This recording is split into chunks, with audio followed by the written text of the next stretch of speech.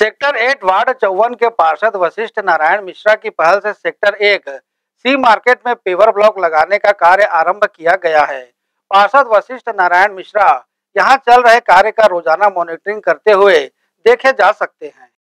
लगातार पांचवी बार पार्षद बने वशिष्ठ नारायण मिश्रा कार्यभार संभालते ही न सिर्फ़ सक्रिय हो जाते हैं, बल्कि वार्ड की जनता के हर सुख दुख में भागीदारी देते देखे जाते हैं। शायद यही कारण है कि वार्ड की जनता को ये याद ही नहीं दिलाना होता कि उन्हें अपना मत देकर विजयी बनाए, बल्कि वार्ड की जनता बिना किसी के कुछ कहे अपना मत उन्हें देकर उन्हें जीत का ताज पहना देती है।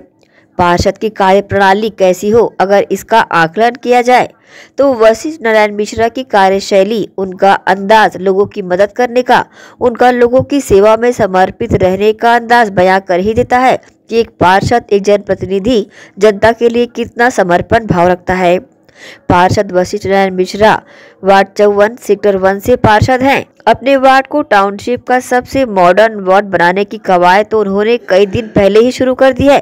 वार्ड को सुंदर बनाने की कवायद जहाँ वो करवा रहे हैं, वहीं वार्ड में कोविड पेशेंटों के लिए सभी सामान मुहैया कराकर उनका कुशल छेम भी पूछ रहे हैं। साथ ही पूरे वार्डों के घरों को सैनिटाइज भी करवा रहे हैं।